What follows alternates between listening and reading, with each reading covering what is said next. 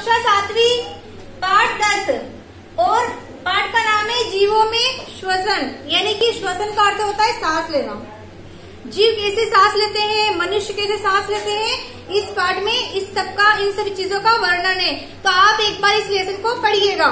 तो आपको ये अच्छे से समझ में आएगा। आप पेज नंबर पहले तो आप विज्ञान निकालो और विज्ञान का लेसन ये दस निकाल लीजिए और दस के बाद आप पेज नंबर मैं बताऊ। 114 पेज नंबर निकाल लीजिए। ठीक है तो आप इस लेसन को एक बार ज़रूर पढ़िएगा तो आपको समझ में आ जाएगा कि इसमें श्वसन के बारे में, सांस के बारे में क्या है। अब मैं थोड़ा सा आपको इसकी डिटेल समझा देती हूँ। जीवो मतलब आपने देखा होगा कि हम जिसे कि जाते हैं, हम रनिंग करते, दौड़ते हैं तो अगर हम तेज़ी से दौड़कर जाएँगे तो हमारी सांस क्या हो जाएगी? फूल जाएगी। यानी कि बहुत ज़्यादा मतलब हम अगर अधिक तेज चलेंगे तो हमारी जो धड़कन है वो तेज हो जाती है। ऐसा क्यों होता है? ऐसा इसलिए होता है कि अगर हम लगातार कोई काम करते हैं एकदम तेज़ी से तो हमारी जो दिल की धड़कन है, यानी कि सांस जो है, वो तेज़ी से बढ़ जाती है।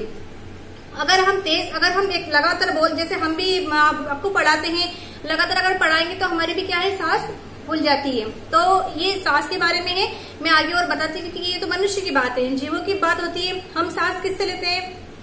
हम सांस फेफड़ों फेफड़ों के द्वारा लेते हैं। ठीक है, लेकिन जीव फेफड़ों के द्वारा सांस नहीं लेते। आपने केचवे को देखा होगा, केचवा सांस कहाँ से लेता? उसके अंदर तो कोई फेफड़े नहीं होते। तो उस फेफड़े के जो रोम छिद्र होते ना छोटे छोटे से रोम छिद्र, वो उनसे सांस लेता है।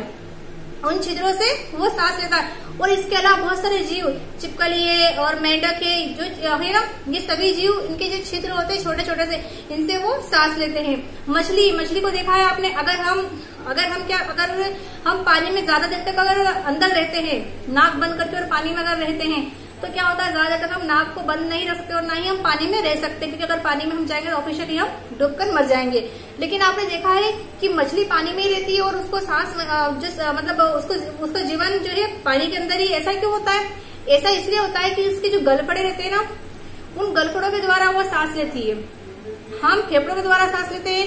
कुछ जी, कुछ जीव कुछ जीव जंतु रोम छिद्र के द्वारा सांस लेते हैं और कुछ कुछ का अर्थ है कि मछली मछली जो है वो अपने गलफड़ों के द्वारा सांस लेती है।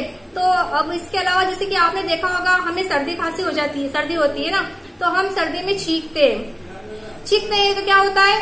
छींकते हैं हम तो छींकने से आ, क्या होता है जो हमारे अवांछनीय जो कण होते हैं जो प्रदूषित कण जो होते हैं जिससे बीमारियाँ हो सकती है वो सारे बाहर निकल जाते हैं। और जो अच्छी प्रदूषित जो प्रदूषित वायु यानी कि जो अच्छी वायु होती है ना वो हमारे अंदर ले जाती है जिससे हम स्वस्थ हो जाते हैं। तो अगर हम कभी भी छींकते हैं या हमें सर्दी जुकाम होता है तो हमें आ, मतलब नाक पर हाथ लगाकर छीकना चाहिए जिससे कि जो कर्ण अवांछनीय कर्ण जो होते प्रदूषित कर्ण जो होते बाहर निकलते हुए किसी अन्य व्यक्ति पर न जाए और अन्य व्यक्ति उस पर बीमार न हो।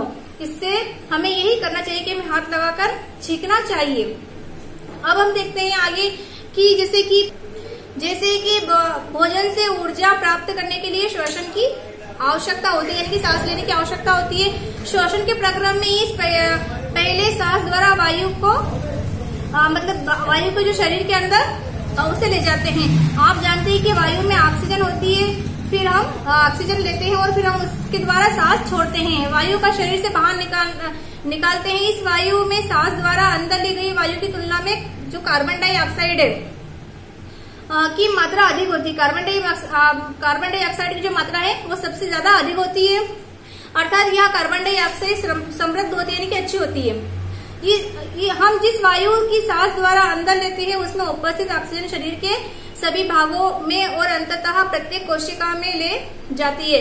कोशिका में यहाँ ऑक्सीजन भोजन के विखंडन में सहायता करती है। कोशिका में भोजन के विखंडन के प्रक्रम में ऊर्जा मुक्त होती है। इन कोशिकाओं इन कोशिकीय श्वसन इसे हम मतलब इसे ही क्या कहते हैं? हम कोशिकीय श्वसन कहते हैं।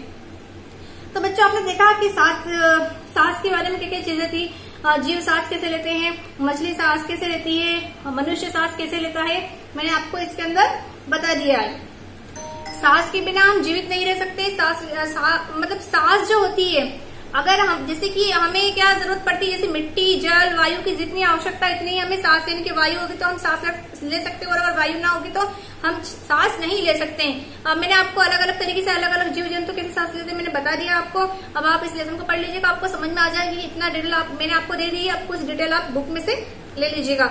और बाकी इसके क्वेश्चन आंसर जो भी कुछ है, मैं आपको सेंड कर दूँगी तो आप लोग अपना काम पूरा कर लीजिए। Okay bye thanks